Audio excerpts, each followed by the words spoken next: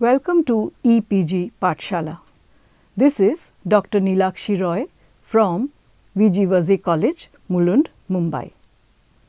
And this module is about the issues of race and multiculturalism. There are two objectives in this module.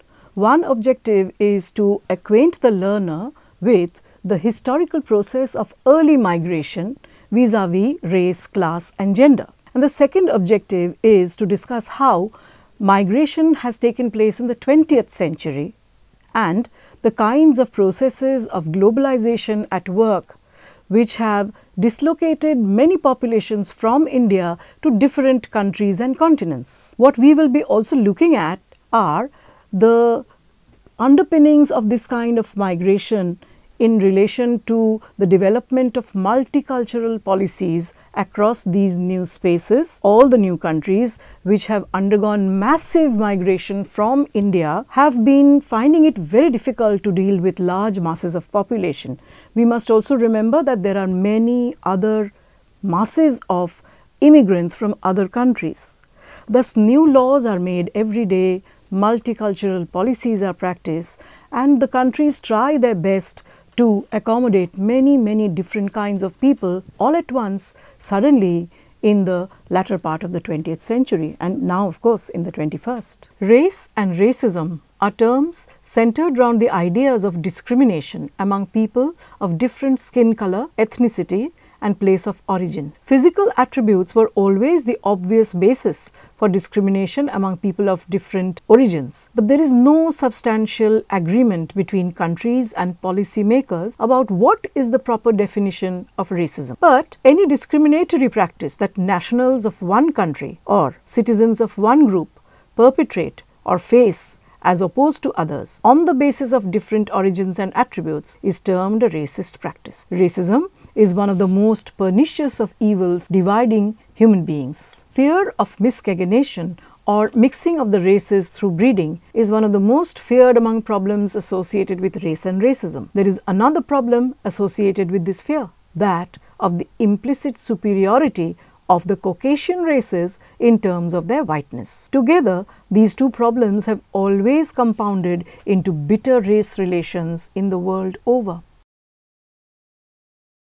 Fear of miscegenation is primarily due to the skin color of offspring being different from that of the parent. It is believed that the color of skin indicates racial purity or affinity and a departure from that is a kind of betrayal to the notion of tribe, community, nation, etc. So, the greatest fear is of the intermingling of races by marriage. Racist practices are primarily targeted at keeping communities, especially men and women, apart from each other. In the past, physical differences were also attempted to be correlated by scientists to mental and intellectual and psychological difference. The white colonial masters started this trend to keep indigenous communities separate and at bay. Thus, arose the notion of the superior class, which is strong, rational, active, and intelligent, and therefore fit to rule over the inferior class of native. White skin indicated racial purity or affinity and dark skin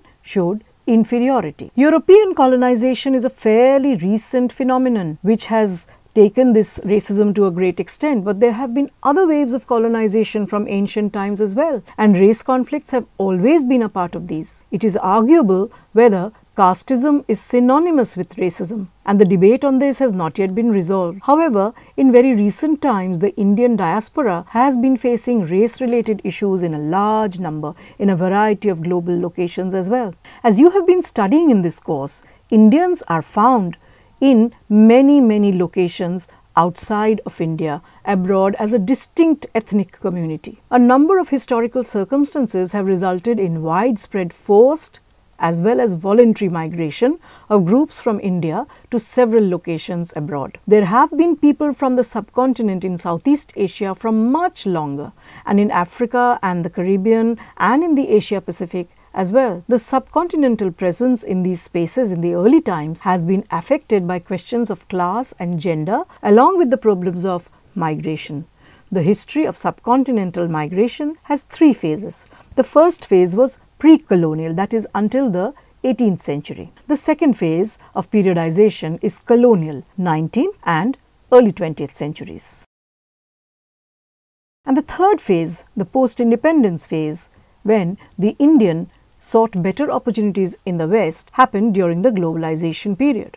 This last phase is the phase when the Indian community was identifiable in public spaces and services abroad. The spurt of immigration in the 1980s is a result, direct almost, from the tremendous upsurge of human and financial mobility brought in by globalized capital. Recent trends show that there are many Indians going for academic reasons, for better jobs, especially in the Gulf, and for careers in IT to the US, Canada, UK, Australia, Singapore, and the southeast of Asia. Later in this video, you will have references to how Indians deal with new kinds of policies related to multiculturalism in these societies. Racism towards Indians can be looked at region wise, that is, according to host countries as well as chronologically. In the colonial period, some Indians went to England where they experienced racism from the white population on account of their being considered dark, native, inferior people. Indians also migrated as indentured labor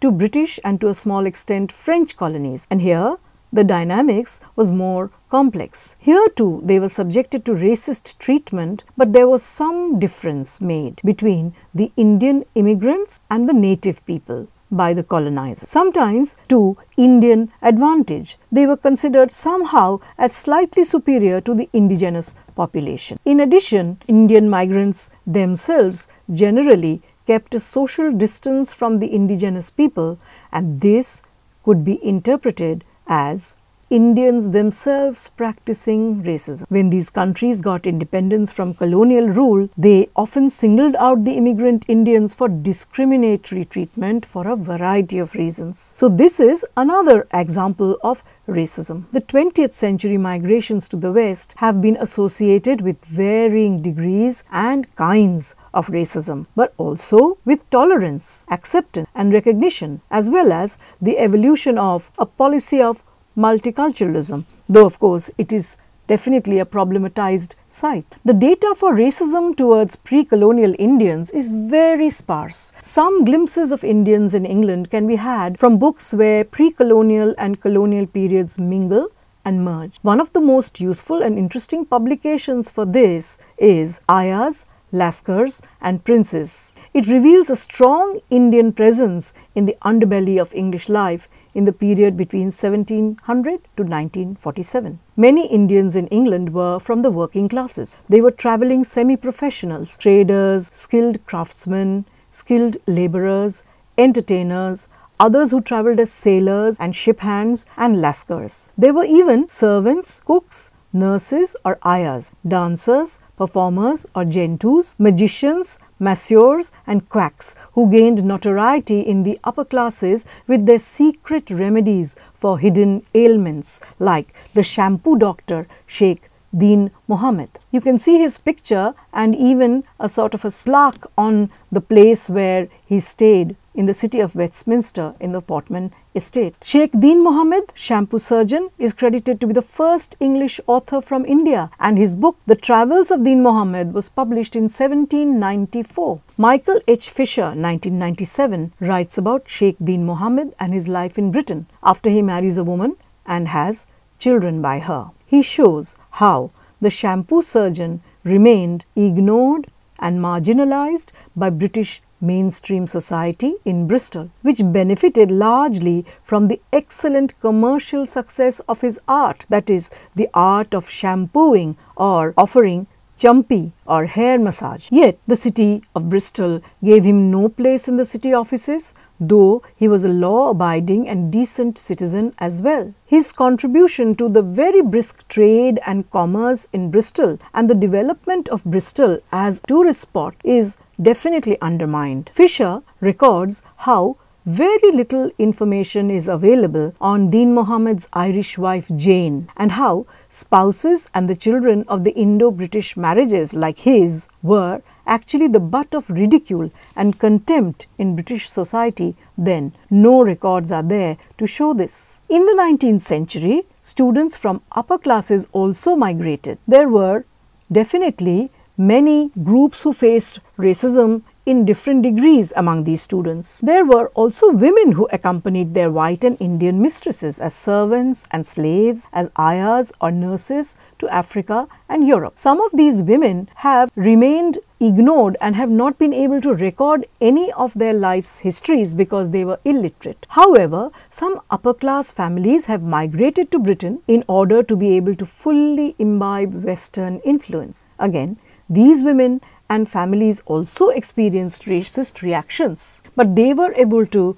record these reactions. Young women who travelled there with their husbands or families, like Hemangini Banerjee and her daughters, who first went to England in 1864, or the poet Toru Dutt and her sisters, who were in England between 1871 and 1873, were received well as they were from the upper classes. But their uneducated mothers were isolated like Hemangini Banerjee was. Anandibai Joshi, Cornelia Sorabji and Sarojini Naidu were some of the very well educated women who emigrated abroad only for studying and for furthering their careers. The latter were very well received in the UK, but Anandibai Joshi suffered greatly on her journey home from the US while she was suffering from tuberculosis. She was not looked after by a doctor or attended by nurses during her journey due to her race. And after her arrival in India, because she had travelled abroad and lost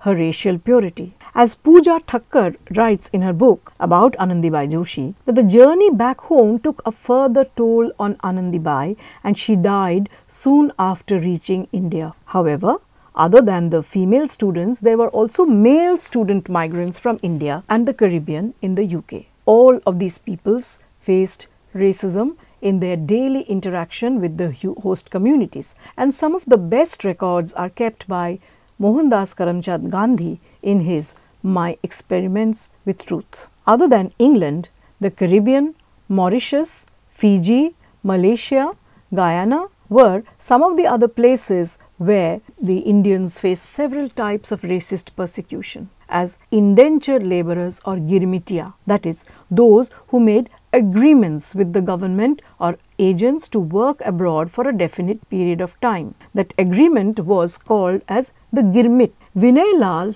Vijay Mishra and Brij K. Lal discuss these in their writings extensively. The Caribbean Indians first. Let us talk about how the Caribbean Indians first arrived in Trinidad abroad the Fatel Razack on 30th May 1845 to provide the sugar plantations with a large and cheap labor force. Many of them were engaged in agriculture, but over the next few decades they began to make their presence felt as professionals and entrepreneurs. Later, as in the rest of the Caribbeans, the Afro-Trinidadians and Indo-Trinidadians had increasing interracial divisions till it all culminated in unmistakably clear discrimination against the latter in job quotas, discriminatory Africanization of history, of endeavors to represent Trinidad as a country of exclusively or predominantly African origins. In other words, these processes of Africanization totally ignored and undermined the positions of the Indian populations who brought in so much of cheap labor and the success of the sugar plantations because of their labor and because of their organizing skills. The first immigrant ship, as I said,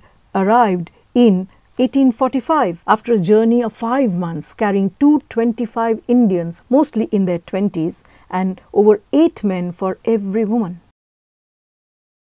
Some of the oral narratives of the Indo-Caribbean women and men in Mauritius who went from UP and Bihar in the late 19th and early 20th century are being uncovered from wedding songs, songs sung during Ram Leela and other cultural discourses. It may be interesting to read two pieces of fiction, it may be interesting to read two books of fiction Ramabai Espinet's The Swinging Bridge and Amitav Ghosh's The Sea of Poppies for an account of their journeys and the life in their new homes. Indians were first brought to Fiji in 1879 to work as indentured laborers on sugar plantations owned primarily by the colonial sugar factories one of them was called the Colonial Sugar Refining Company of Australia. There was a lot of violence perpetrated on Indian indentured labourers, but they did enjoy some measure of freedom from the stronghold of caste and oppression against women back in India. There was no protection available to them against inhuman labour conditions, and though through their hard work the states of Queensland and New South Wales were developed, the Fijian Indians were systematically excluded from political representation by the ethnic Malinese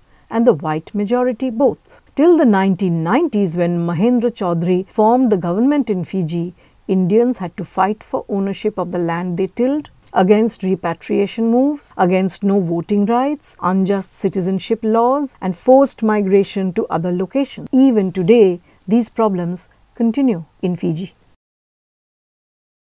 Now to move to Australia. In Australia, the Ghan Express is a route that brought Afghan camel trainers by the thousands between 1860 to 1930s on contract for three-year periods. It was named after the travelling migrants believed to have come from Afghanistan diminished to Ghan. You can see the picture of the Ghan Express in the visual. The Ghan Express started in 2004 and the original camel route is followed even now. The Ghan train was named for the pioneering cameliers. Many of these pioneers stayed back and were the first Indians to work there as laborers. Later, Punjabi Sikhs joined them. They never went back and were the first migrants from India.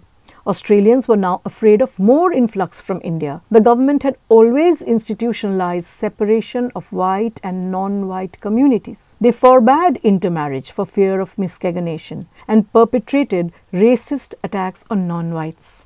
Even under such conditions, in the post-colonial phase, many Indians migrated. At first, especially railway workers, dock workers from the Anglo-Indian community and then professionals and students who stayed on to build their careers. A number of repatriation moves from Fiji, Malaysia and Africa brought new Indian populations to Australia and the trend continues till today with the IT and other professionals from India. Newspapers, TV and radio stations, restaurants, cultural programs and Indian and Indo-Fijian association activities abound in Australia and they make representations from time to time for citizenship, visa, remittance and other assistance as Vinay Lal in the report on Indian diaspora shows. The migration of Indian farm labourers to South Africa started in 1860 to farm the sugar plantations.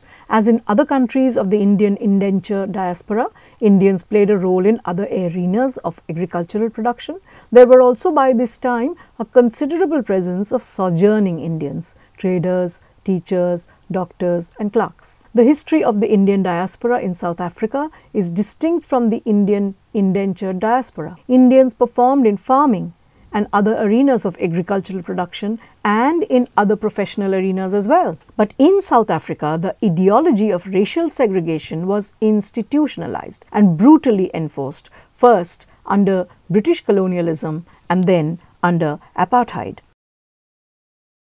Mahatma Gandhi's own political and moral conscientization and the later role he played in the Indian freedom movement owe their origin and force to the racism he experienced here from the whites in South Africa. Gandhi's interventions in the late 19th and first decade of the 20th century, especially his passive resistance, not only mobilized the Indians in South Africa against racism, but played an important role in inspiring several African leaders in their struggle in the 20th century against apartheid. Both before and after the apartheid movement, there were many generations of Indians in Africa who lived in abject conditions. Even after the ANC came to power, this continues, though many Indians have been well rewarded politically for their support during the struggle against apartheid. Black animosity has increasingly turned towards Indians, with the Kwa Zulu writer and musician Mbongeni Ngema releasing a song entitled AmaNdiya, there started a new wave of racial hatred and violent crimes against Indians. The nature of racism faced by Indians in East Africa under Idi Amin started in South Africa. Indian indentured labor in Malaysia originated in the late 19th century and the vast bulk of the laborers of the rubber plantations were drawn from Tamil Nadu. Nearly a lakh of Indians were brought to Malaysia each year in the early decades of the 20th century. The Indian population became preponderant in the coastal areas and they are largely found around the plantations. There are numerous indices pointing to widespread poverty among Indians in Malaysia. Indians control very little of the country's finances and are the most poorly housed, educated and cared for community, almost as poor as the Malays. They are constantly the community that has many criminals, drug and alcohol addicts and receives very poor health care. Religious discrimination of the Tamilian Hindus, the largest Indian group of the Indian diaspora, is rampant at an institutionalized level. Even though the conflict at a service level is about religion and ethnicity, the racial element is present as an undertow. The HINDRAF, Hindu Religious Action Force, is an activist group that has been formed to resist targeting and fighting legal battles for Hindu minorities. Their reception as a terrorist group is, of course, a very normal reaction to such organizations which fight for civil rights by authorities in any country. The 20th century migrations to the West happened due to several factors about which you have read in the preceding modules. These and the Indian origin asylum seekers from Tanzania and Uganda were also new additions to the Asian population in Canada, Australia, England and America after the mid 20th century. Migration to the Gulf became a big phenomenon from the 1970s and 80s due to the oil boom and demand for labor there. There are numerous studies that document the difficult conditions for Indian labour in the Gulf. Vinay Lal's writings are eloquent on the subject. There are the Gulf migrants who are not even allowed to surface in the public places, leave alone participate in public life. Labour law violations are rampant, withholding of wages for several months, lack of healthcare facilities, absence of safety regulations, illegal confiscation of passport and lack of freedom of movement are the sure fate of these workers in Dubai, the richest country in the world. Deaths and injuries of workers on construction sites are hidden. Sexual exploitation is rampant. Unions are banned.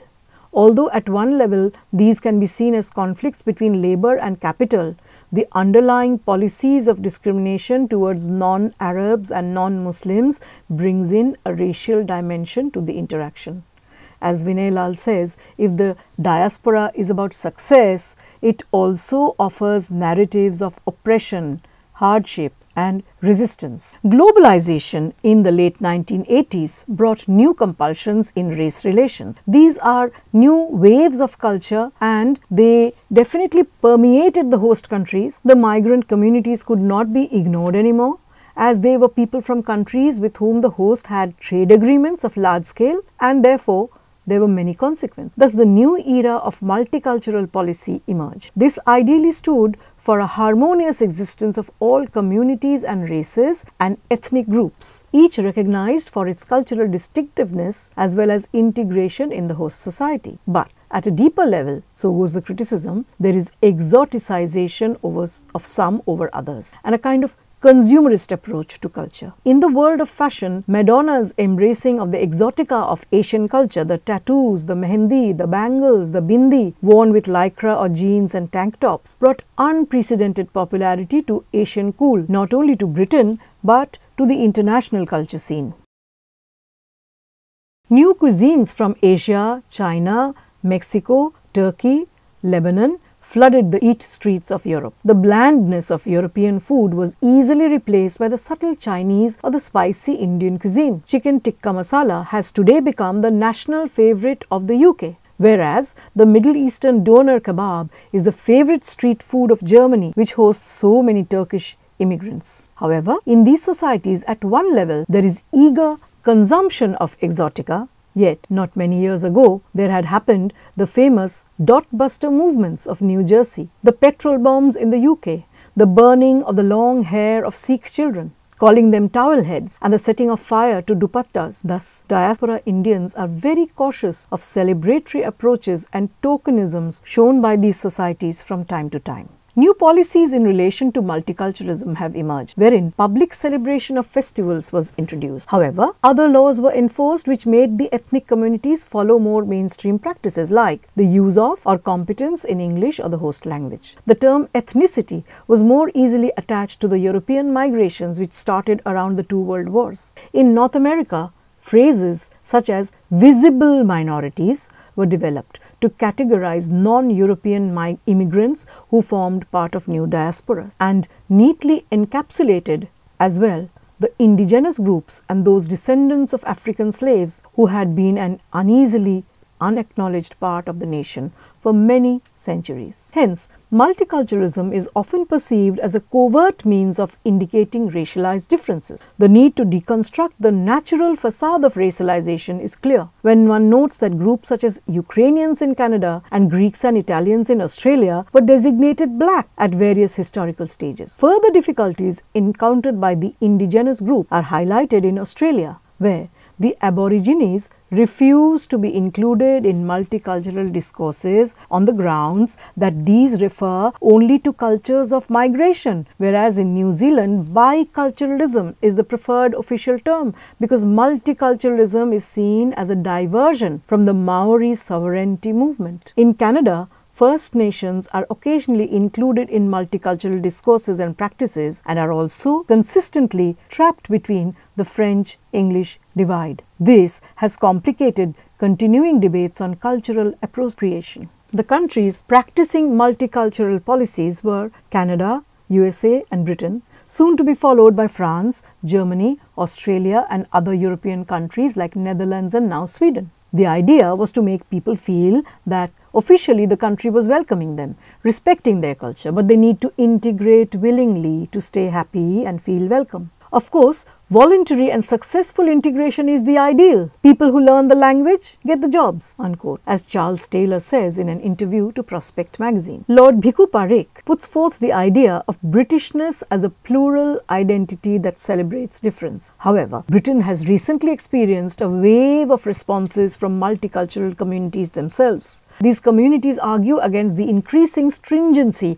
of immigration controls and the introduction of citizenship tests and ceremonies which do not celebrate difference. Instead, they segregate and differentiate according to racial profiles. Many would agree that there is overall a paradigm shift in British political discourse from multiculturalism to social cohesion or from celebrating difference to affirming shared values. Differences in policies in the various countries were quite major. Canada practiced the cultural mosaic idea in which communities maintained their differences yet stood together as Canadians. USA insisted on the melting pot culture where differences were to be subsumed under a pan-American ideal and Britain where Separatist ethnicization was another name for multiculturalism. Charles Taylor says, and I quote, Canadian multiculturalism was always strongly integrative. The famous White Paper of 1969 had four aims. One was to break down cultural barriers. Another was to make sure newcomers learned one of the two languages. He adds how it had a very strong notion of liberal integration where immigrants were looked upon as guest workers at first and there was no idea what to do with them when they began to stay. In the earlier group of host countries, there are new bodies of peoples entering and settling. The US is full of illegal immigrants from Mexico and Cuba, and the UK, East European, especially Polish, Croatian, and Serbian immigrants abound. Canada, New Zealand, and Australia are seen as more white countries. So, there are many younger people from the mainstream relocating there from the erstwhile empire especially from the UK. In Europe, especially in Germany, Sweden and France, there are many new groups of migrants entering every day as exiles, asylum seekers and as illegal migrants, traveling with no passports, papers, passes, entering the country as stowaways in the most harrowing conditions. Some even die or fall ill out of the exhaustion of the journey. Those who survive tell their tales and films have been made on their journeys by people like Fatih Akin, Ken Loach, Danny Boyle, Mira Nair, Deepa Mehta, and several documentary filmmakers. Some of these stories are really gruesome, but they are not always necessarily about Indian immigrants. Even Bollywood has repeatedly turned its gaze outward to the diaspora by making films on them. Overall, multiculturalism as a philosophical concept and as a policy is seen as both a solution and a problem? On the one hand, it is praised for professing equality and social recognition, and on the other hand, it is criticized for creating more inequality and social fragmentation. The position of Indians in the diaspora has always been precarious. Though they are a majority population in many spaces, they are treated as minority. Though they are economically successful, their socialization and host national identity are questioned. In a number of countries like Africa, Fiji and Malaysia, Indians were sacrificed to nationalist policies one of the unalterable truths of multicultural societies in which Indians are found is a dichotomous one. Their religious beliefs, diligence, food habits, and gregarious identity are very distinct and have always attracted admiration and curiosity from their hosts. But these very characteristics have also created distances, suspicion, and hatred among them and the host communities. Indians themselves also practice exclusivity.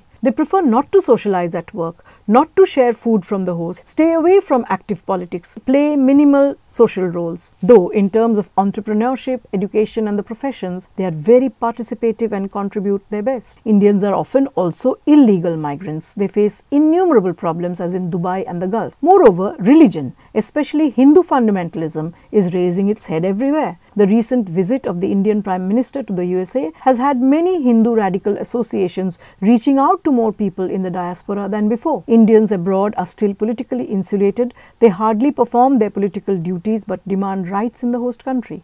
The stages these Indian migrant populations followed were those of integration and assimilation in the 1960s and 70s and were finally co-opted into the project of multiculturalism from the 80s and 90s. They tried to integrate as if by holding on to some aspects of their own culture and tried to melt in into the new cultural environment. Later, they attempted assimilation by abandoning their own cultural habits and values in order to accept the new country totally to be accepted as a part of the majority culture. In the later phases, despite the project of multiculturalism, which exoticized the outsider communities, many Indian communities practiced separation by avoiding contact with the majority culture as much as they could. However, new global communities of Indians may be said to practice marginalization, a strategy by which they neither practice their original cultural traditions nor integrate in the new culture, thereby living in a kind of non-identity. The future is complicated. Indian governments cannot be expected to look after the illegal migrants. Militant Hinduism is not reducing poverty or solving issues of citizenship. Political participation of diasporic Indians must be made stronger and less exclusive. The groups and generations of migrated Indians have been victims of racism in different countries, yet they have made continual attempts to integrate or assimilate. They have been rewarded for their tendency to be economically successful and integrated, but they have been socially and maritally aloof. The post-globalization trend of multiculturalism has had its mixed consequences. Indians are prized for their ethnicity in many ways and they lend themselves to it. Yet the world is a global village today, so they carry little Indias with them wherever they go, thus remaining virtually back home and thus participating little or not at all in the host country's politics or societal dynamics. The contribution of women to the Indian diaspora and especially to the new immigrant success of the communities is not to be undermined. The visuals show you some of these examples. Along with the men who travelled by the roads, there were many women who travelled to many distant locations and took up professions which they never before would have thought of back in their homeland. Thus, the contribution of the women can in no way be undermined, especially one can remember the contribution of the wealthy princess from the Ranjit Singh family, Sophia Duleep Singh, who donated much of her wealth to the suffragette movement in the early 1920s. To conclude, we have now definitely surveyed the entire history of Indian migration and seen the interpolations of gender, race and class in these communities in the early phase as well as in the later phases. The attempts of the Indians in the middle of this phase that is in the second phase where in the post-colonial period they tried to adapt to their new homeland by integrating and assimilating transformed itself to a different kind of situation in the post 1980s scenario because of globalization and multiculturalism. Due to trade contacts, the Indian governments entered into very nice relationships with the governments abroad and therefore the host countries were kind of compelled to accept and therefore adopt multicultural policies towards these immigrant populations. The success and the failure of the Indian communities can be measured differentially in the different countries, but by and large Indian communities are extremely successful in terms of economics, though socially they remain a little aloof. Politically, in very sporadic terms, they are found to be very active, but mostly they are insular especially they do not like to participate in marriage and other social relationships with the host lands. These are some of the genuine problems that are faced by Indians in terms of race and marginalization in the diaspora societies. However, the Indian community has always been a very, very strong multicultural community itself back home. Therefore, some of these multicultural practices are carried forward into the new host and Indian exoticism and culture is very much celebrated in these new places. With increasing migration, the new and emerging trends of multiculturalism change, Indians are acquiring different kinds of habits and they are becoming more and more insular and they are participating in what is called holding a kind of a non-identity for themselves. It remains to be seen what kind of shape new immigrations and new waves of migration and settlement in new countries will take in the say 22nd century or the future. No one is quite sure about what is going to happen, but one hopes that the Indian communities abroad will stay peaceful and successful and work towards the progress of both host nations and their homelands.